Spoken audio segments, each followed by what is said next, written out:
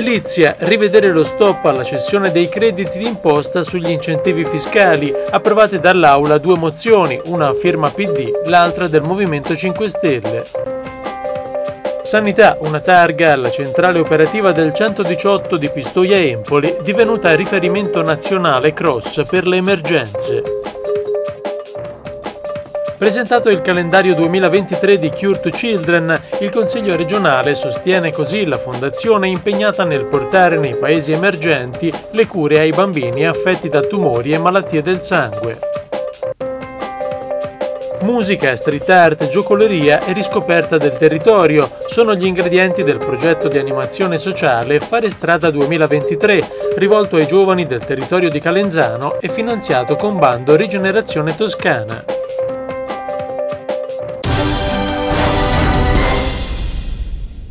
Super bonus, rivedere lo stop.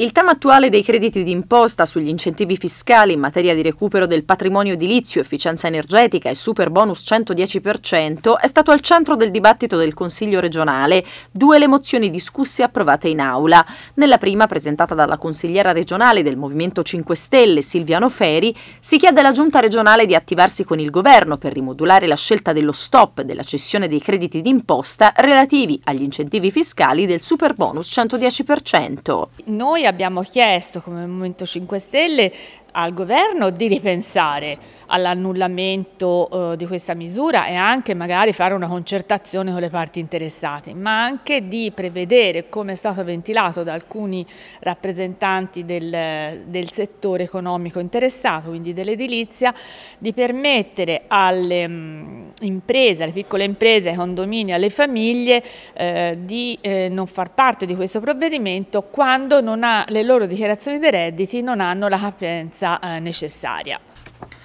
Nella mozione del Partito Democratico illustrata dal consigliere Francesco Gazzetti si chiede alla Giunta di attivarsi con il governo in conferenza Stato-Regioni per fare in modo che venga rivista quanto prima la decisione di bloccare in modo permanente e generalizzato la cessione dei crediti d'imposta relativi agli incentivi fiscali in materia di recupero del patrimonio edilizio, efficienza energetica e super bonus 110%, evitando di danneggiare il settore dell'edilizia e l'indotto. Noi chiediamo alla Giunta di interloquire con il governo sia perché sia valutata la possibilità anche di tornare indietro rispetto a alcuni provvedimenti. E poi si discuta nella conferenza Stato-Regione o nella conferenza unificata affinché si possa valutare anche la possibilità da parte delle regioni o degli enti locali di eh, procedere anche per quella strada che era stata individuata da altre regioni e da altri enti locali e che il provvedimento del governo con una decisione che ha lasciato lasciato sorpresi davvero tutti perché si parla molto di autonomia, ma questo provvedimento invece ha bloccato, azzerato anche l'attività e soprattutto l'autonoma eh, deliberazione di questi enti e questa mozione serve per anche portare questo tema all'interno del Consiglio regionale e c'è stata una, una bella discussione e siamo contenti dell'approvazione. Duro l'attacco del consigliere regionale di Fratelli d'Italia Alessandro Capecchi. Perché si continua a far finta di non capire che l'operazione del super bonus ha generato circa 105 miliardi di crediti fiscali di cui 77 non hanno ad oggi copertura da parte dello Stato perché il meccanismo di cessione infinita di questi crediti ha creato uno scompenso, rischia di creare uno scompenso nei conti pubblici che non può essere per esempio sanato dall'acquisto degli enti locali e delle regioni come era stato nelle settimane scorse paventato perché questo rischierebbe di pesare sul debito pubblico italiano. È una situazione potenzialmente esplosiva, naturalmente coloro che avevano fatto i 110 fino ad oggi e che hanno i titoli edilizi rilasciati fino al 16 di febbraio avranno la possibilità di usufruire del super bonus, mentre per mettere eh, diciamo anche le famiglie in condizione di fare valutazioni più appropriate sui costi eh, è stata lasciata la possibilità di fare l'operazione fino al 90%, perché è chiaro che il meccanismo del 110 spingeva ad alzare il valore delle spese anche per le consulenze tecniche perché tanto pagava Pantalone. Pantalone oggi non ha i soldi per pagare e questo extra eh, profitto che tanti stavano facendo va bloccato nell'interesse del Paese. Emergenze, l'eccellenza cross. Il Consiglio regionale ha assegnato una targa alla centrale operativa del 118 di Pistoia Empoli per gli ottimi risultati ottenuti che l'hanno portata a divenire riferimento nazionale come cross. La cerimonia di consegna si è svolta nel Media Center Sassoli di Palazzo del Pegaso. Il riconoscimento è stato consegnato dal presidente dell'Assemblea toscana Antonio Mazzeo a Piero Paolini, il direttore della centrale operativa 118 Pistoia Empoli. La struttura, attiva per le emergenze sanitarie, ha una duplice funzione, quella di sala operativa regionale per le maxi emergenze e di CROSS, centrale remota per le operazioni di soccorso sanitario. La funzione di Cross, in Italia garantita da un'altra sola centrale, quella di Torino, viene attivata dalla Protezione Civile Nazionale in caso di emergenze e catastrofi per coordinare i soccorsi sanitari urgenti, nonché dai referenti sanitari regionali in caso di emergenza nazionale. Importante questo riconoscimento da parte del Consiglio regionale alla CROSS, una struttura del nostro sistema sanitario regionale, ma una struttura che ha gestito eh, emergenze in tutto il Paese e all'estero, creata insieme al terzo settore, un motivo d'orgoglio, un elemento di innovazione che vogliamo si rafforzi perché è un elemento fondamentale che abbiamo visto essere determinante in tanti momenti purtroppo drammatici del nostro Paese, a cominciare dall'emergenza Covid. Eh, questo è un riconoscimento a tutti i professionisti, al coordinatore ovviamente a tutti i volontari che per noi sono una ricchezza fondamentale che contraddistingue la nostra regione. Durante l'emergenza sanitaria dovuta al Covid, nel 2020 la centrale Cross di Pistoia Empoli ha avuto un ruolo fondamentale per mappare i posti letto in tutta Italia e organizzare i trasferimenti nei luoghi di cura. In totale sono stati 116 i pazienti trasferiti, di cui 76 affetti da Covid e 40 non affetti da Covid. Medici, infermieri, operatori tecnici hanno lavorato al fianco dei volontari, 23.800 quelli impiegati nella gestione dei soccorsi. Veramente per noi è, ha un valore aggiunto dopo tutti gli sforzi. Devo dire che non siamo i soli perché accanto a noi ci sono molti operatori, molti volontari che operano magari anche con attività che hanno una visibilità minore eh, e che fanno un lavoro egregio anche eh, su tutto il territorio regionale. Questo è un riconoscimento ha un'attività di punta perché quella magari ha più visibilità anche sui media e che esce dai confini regionali. Siamo stati eh, gli attori di sfide importantissime durante la pandemia. Ricordo che noi abbiamo fatto operazioni di Medevac che vuol dire trasferimento di pazienti, pazienti gravi, molto gravi, tutti a terapia intensiva, eh, con la maggior parte con il Covid, ma poi anche pazienti che sono venuti dall'Ucraina, pazienti dalla Turchia, pazienti dalla Libia, insomma un'operazione che ha riguardato quasi mille pazienti, che è la più grande operazione che c'è in letteratura dopo la seconda guerra mondiale. Un riconoscimento importante, dietro a questo c'è la volontà di implementarla eh, sia nel software che nell'hardware, quindi formazione, tecnologia per le persone che ci lavorano e anche nelle strutture. C'è questa possibilità nell'area del Ceppo che ospita attualmente la sede, è un cantiere, quindi spero si pensi tutti insieme con la Regione ma anche con il Ministero eh, tutte le azioni possibili per implementarla. Alle persone che ci guardano e che, eh, a cui la stampa in questo momento racconterà la Cross sappiano che quando c'è una maxi emergenza nel proprio paese ma anche all'estero. Sono le prime persone che si attivano e fanno arrivare lì i volontari e i vigili del fuoco piuttosto che i nostri militari. E dal Pistoia viene coordinato per tutto il paese ma anche per eh, all'estero azioni di questo genere. Un calendario per la vita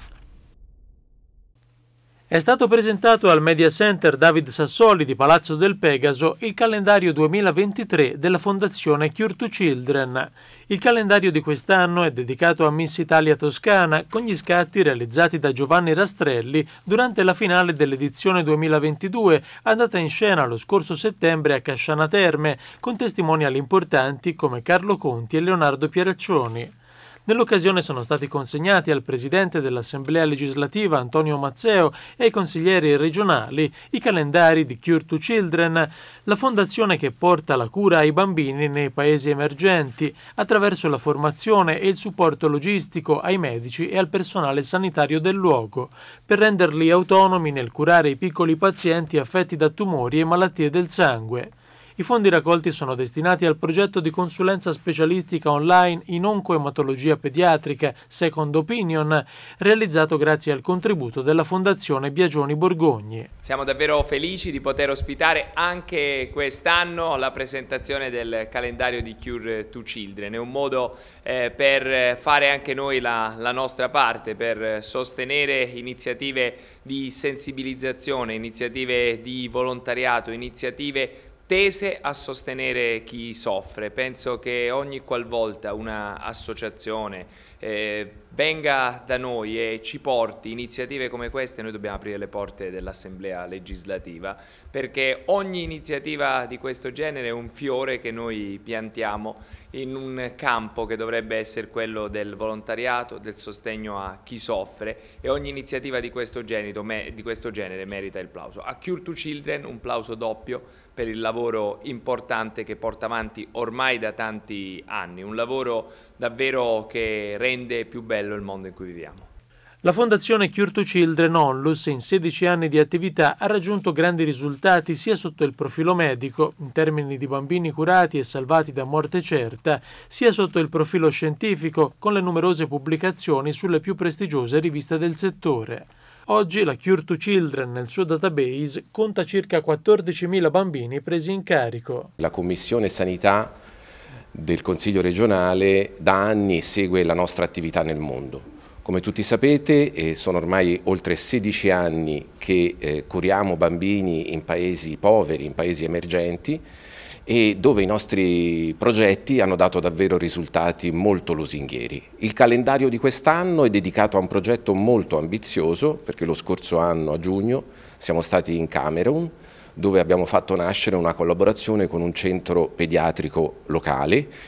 e eh, ci siamo fatti carico di 100 bambini inizialmente, 100 bambini oncologici. Immaginate voi che impegno è per noi, ma siamo sicuri che questo progetto rappresenterà per noi, per la Cure to Children, per i nostri sostenitori,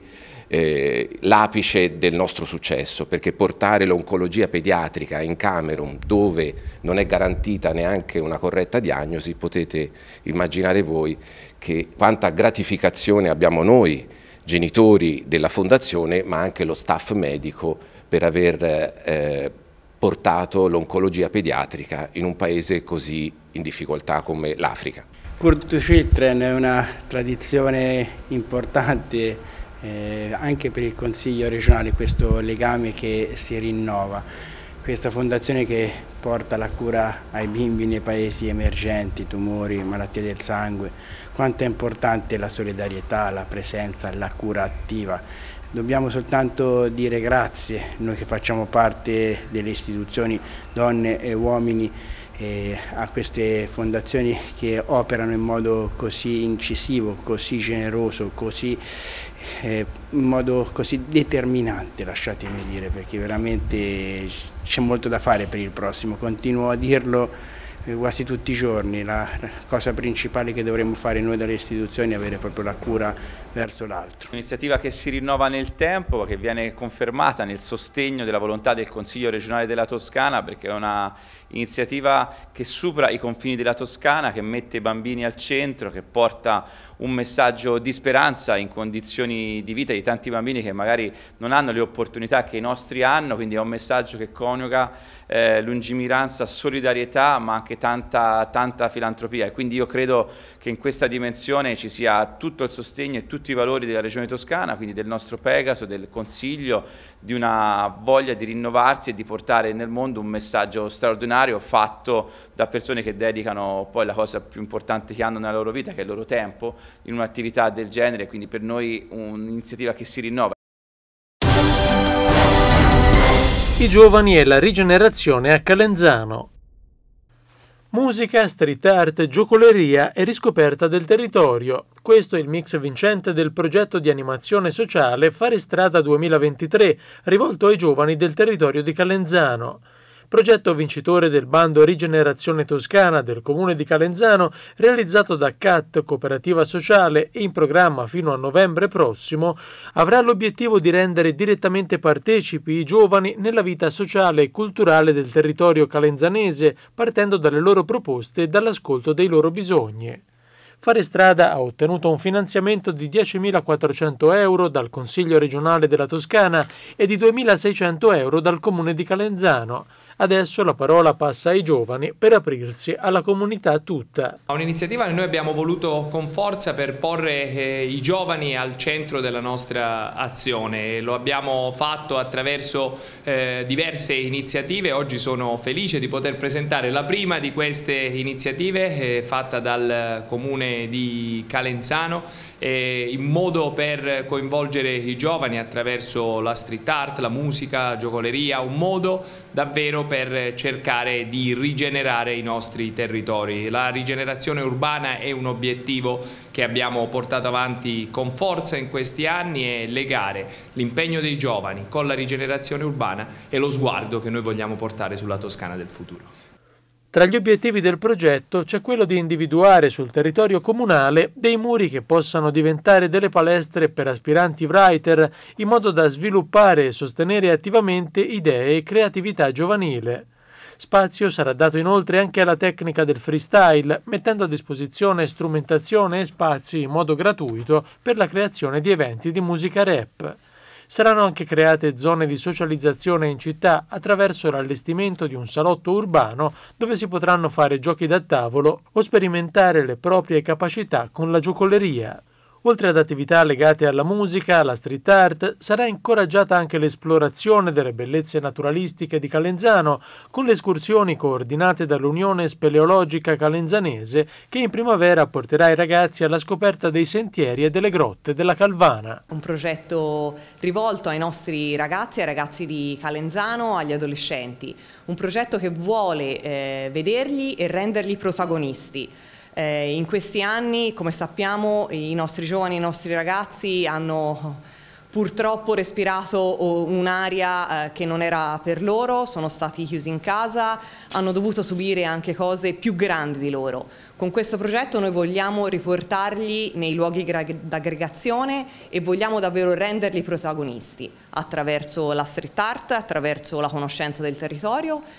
e anche attraverso momenti liberi dove loro ci potranno indicare eh, come vorranno passare il tempo insieme. Andremo nel territorio di Calenzano a cercare i gruppi giovanili, i ragazzi e le ragazze che passano il loro tempo sul territorio e li ascolteremo soprattutto, cercheremo di capire quali sono gli interessi dei ragazzi, quali sono i loro desideri e in qualche modo cercheremo di tradurli assieme a loro in cose pratiche e diciamo che poi faremo anche delle proposte che riguardano un po' le discipline dell'hip hop che tanto vanno tra i ragazzi, per cui si parla di rap, di graffiti, di street art